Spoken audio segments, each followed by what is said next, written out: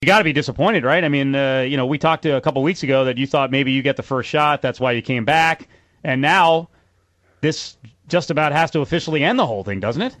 Yeah, but I'm not surprised, and, and I kind of got over being disappointed about the potential for that fight a long time ago. So I wasn't surprised. I know I knew a huge stumbling block uh, for the UFC and, and Fedor to work things out was going to be the co-promotion aspect that that M1 is looking for with with uh, you know they have Fedor tied up to a contract for many fights, and uh, you know he's going to be loyal to them and that. So uh, I, I wasn't terribly surprised by the outcome, and and and you know that Fedor went to Strikeforce.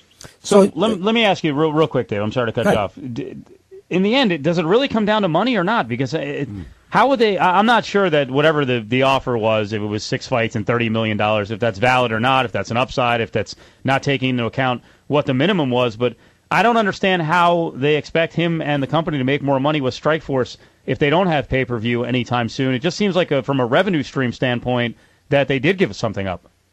Yeah, I don't think it's about money for them. I think it's about continuing to promote and build their brand of M1 Global, and obviously, uh, you know that to attach that to the UFC helps them tremendously.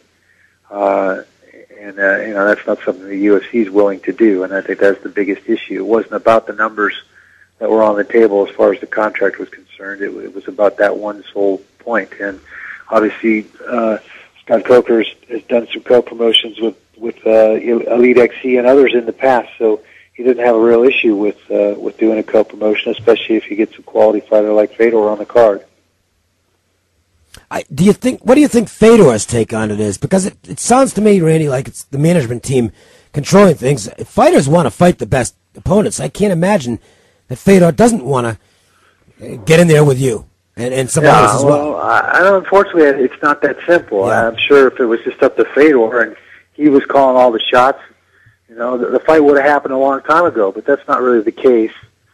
Uh, you wonder. I mean, you, you find yourself questioning, well, how much does he really know? What's he being told by his representatives of the situation, of the kind of money he was being offered by the UFC, and and uh, you know, ultimately, you know, you'd think he he had some say in that situation, but but again, I, you know, I think he has a contract with those guys. They're they're from his country, and it's a brand that he has a vested interest in, so he's going to stick with them. Just curious, um, from a fan perspective, if you can, you know, I know you can maybe you can only give the fighter perspective, but from a fan perspective, do you think it's a correct conclusion uh, that his legacy is going to be tarnished in the minds of a lot of fans because he, he just didn't face the best guys in their prime.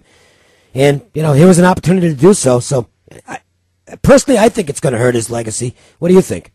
Uh, I don't know. I mean, I get asked the legacy questions all the time, and, and, and I, I think he's fought a lot of top guys already in Pride, and, and you know, he fought two pretty dang good guys in the affliction events uh, in Arlovsky and Sylvia. So, as far as his legacy, I mean, I know as a fighter, I think he wants to fight the, the best guys and and uh, find a way to make that happen. But you know, there's, there's business decisions and other things that play into that, and you know, he's he's doing the best that he can.